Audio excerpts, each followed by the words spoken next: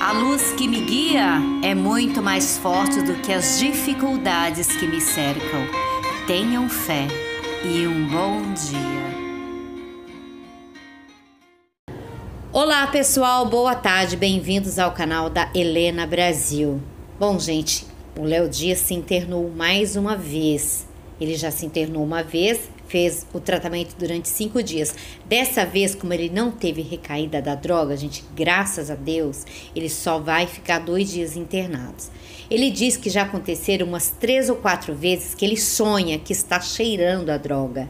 Parece que ele vira à noite, acorda angustiado, é um pesadelo. E ele diz: não é um sonho, né? O médico falou que isso é normal. Até porque, gente, ele vinha de um hábito muito frequente, explica ele, né? Bom, então ele se internou esse final de semana em Paulínia, porque durante a semana, se ele se afasta ali do programa do SBT, já fica avisado que pode ser que ele tenha tido uma recaída. Então ele preferiu se internar no sábado. Eles, os médicos, disseram que eu poderia voltar a qualquer hora e a qualquer época. E que era bom eu ter uma, uma dose de reforço. Eu teria que fazer os mesmos cinco dias se eu tivesse voltado a usar a droga. Se eu tivesse uma recaída, dizer, a internação é de apenas dois dias. Aí ele explica que seria muito ruim para ele fazer isso durante a semana, né? Bom, ele está se tratando com aquela raiz africana, gente, ibogaína, e tem apresentado bons resultados para todos os dependentes também, né? Ele tomou uma dose no sábado, dessa vez sentiu os efeitos da raiz africana. Ele vomitou muito, ficou triste, vieram à cabeça dele cenas de coisas ruins que ele passou por conta da droga, né? Todos os meus fundo do poço, disse ele. Tá, e ele não quis alardear essa internação, né? Ele tem sido atacado na internet por conta disso, dessa dependência, né? Ele conseguiu convencer as pessoas lá que são donos da clínica a interná-lo no final de semana porque os pacientes lá não são recebidos durante o final de semana. Para precisar se ausentar do trabalho também, ele preferiu no final de semana. Ele fala: hoje em dia acho que estou muito visado, sabe? Qualquer gesto meu, qualquer atitude minha no vídeo, qualquer ausência minha no vídeo, acho que as pessoas desconfiam que eu tive uma recaída.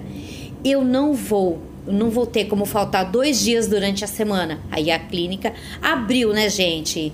É, essa situação para ele, para ele ser internado no final de semana. Ele diz que nos últimos meses ele estava exagerando, né? Ele usava três vezes por semana, virava à noite, não dormia, sempre à base de calmantes para dormir, né? Ele acordava então o quê? Dopado, né? Hoje ele não faz mais uso de calmantes para dormir. E uma coisa que ele aprendeu diz ele que a noite é para ser dormida nunca mais ele vai ver aí a noite passar em branco, né? Ele tem que dormir. Às 23 horas ele diz que sempre está dormindo, acorda às 7. Voltou a malhar, gente, fazer terapia e os efeitos benéficos já são visíveis, avaliou o próprio Léo Dias. Que bom, né, gente? Que isso se torne um hábito, como se tornou um hábito nas coisas ruins que fazia, se torne um hábito nas coisas boas, né? Que aí volta a viver, a ter um viço melhor assim no rosto, né?